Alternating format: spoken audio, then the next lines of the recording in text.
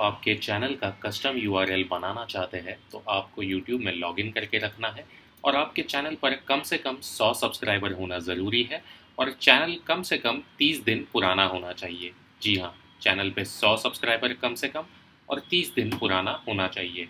इसके बाद आप कस्टमाइज चैनल पर दबाकर वहाँ पहुँच सकते हैं या फिर यूट्यूब स्टूडियो से भी जा सकते हैं। मैं यूट्यूब स्टूडियो से बता देता हूँ आपको कैसे जाना है।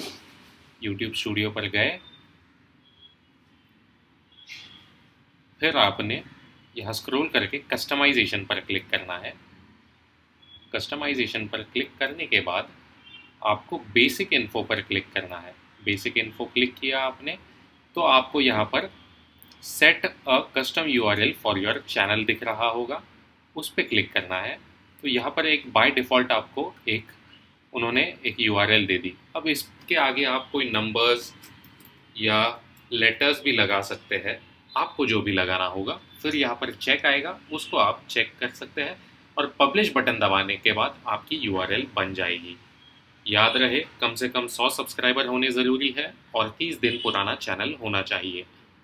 इसके बाद यूआरएल चेंज करना थोड़ा मुश्किल हो जाता है। इसके लिए मैं फ़िलहाल तो नहीं कर रहा। आप अगर करना चाहते हैं तो ऐसे कर सकते हैं और कस्टम यूआरएल किसी के साथ भी शेयर कर सकते हैं। थैंक यू दोस्तों।